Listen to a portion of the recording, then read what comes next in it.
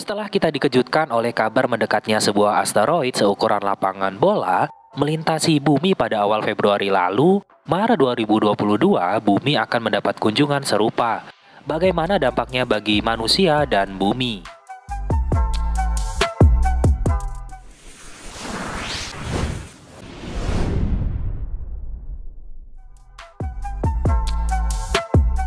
Asteroid 2022 AA telah melintas di dekat bumi pada 4 Februari 2022 kemarin, pukul 4.16 waktu Indonesia bagian Barat, dengan jarak 2.542.000 km dari bumi. Meski memiliki ukuran relatif besar yaitu 71 meter dan kecepatan mencapai 13.000 km per jam, melintasnya asteroid ini sama sekali tidak berbahaya bagi bumi.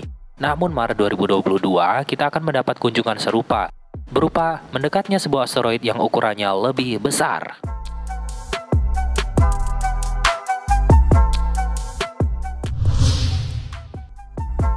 Asteroid seukuran 4 kali menara Eiffel mendekati bumi. Asteroid ini diberi label nama asteroid 2001 CB21 yang memiliki ukuran raksasa.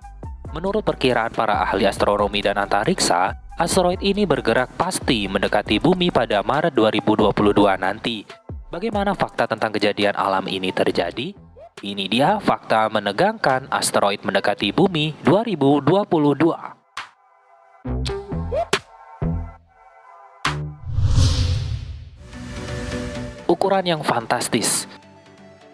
Berbeda dengan asteroid sebelumnya yang melintasi bumi pada awal Februari yang tidak membahayakan bumi, menurut CNEOS NASA, asteroid ini akan berdampak dan berpotensi membahayakan bumi Sebabnya adalah ukuran asteroid yang sangat besar. Ukuran asteroid ini mencapai 1,3 km atau sekitar 4.265 kaki.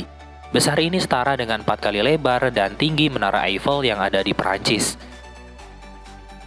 Gambaran citra asteroid ini tertangkap dari teleskop luar angkasa bumi oleh seorang astronot di proyek teleskop virtual Italia, Gianluca Masi pada 30 Januari 2022.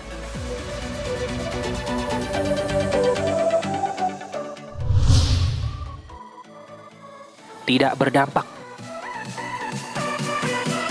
Asteroid yang mendekati bumi namun tidak menumbuk permukaan bumi tidak akan memberikan dampak apa pun bagi bumi.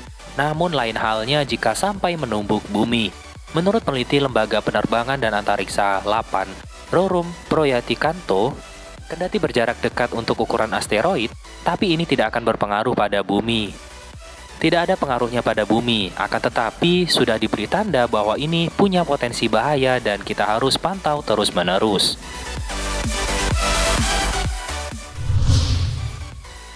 Mirip erupsi Krakatau.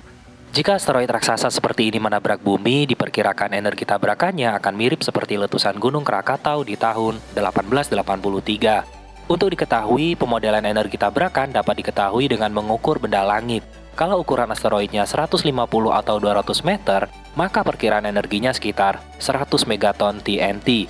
Energi 100 megaton TNT ini kira-kira setara dengan erupsi Gunung Krakatau pada 1883. Diketahui bahwa asteroid yang mendekati bumi ini memiliki ukuran sebesar 1300 meter atau 1,3 km. Artinya, hampir 10 kali energi yang akan dihasilkan dari benturannya dengan bumi.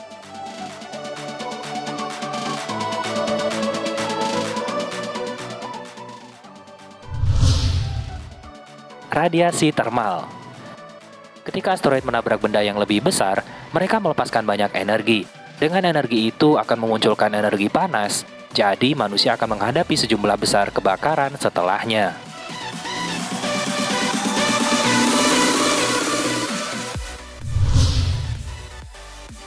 Tsunami Dikarenakan sebagian besar bumi dipenuhi lautan atau sekitar 70% dari permukaan bumi adalah lautan, kemungkinan besar asteroid akan mendarat di Atlantik atau Pasifik.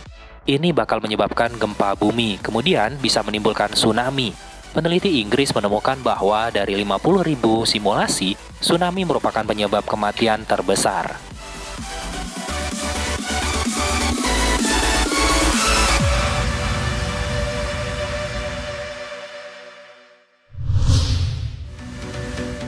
Cuaca berangin Pada 2017, sekelompok ilmuwan Inggris menjalankan 50.000 simulasi komputer tentang dampak asteroid di berbagai belahan bumi. Studi tersebut menemukan bahwa salah satu dampak terbesar bagi peradaban bumi adalah angin yang mengikutinya.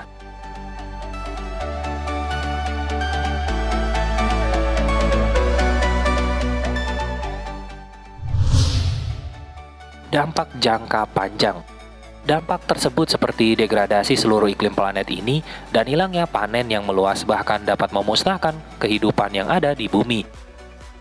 Seperti pada zaman dinosaurus yang musnah akibat asteroid yang menghantam bumi pada waktu itu.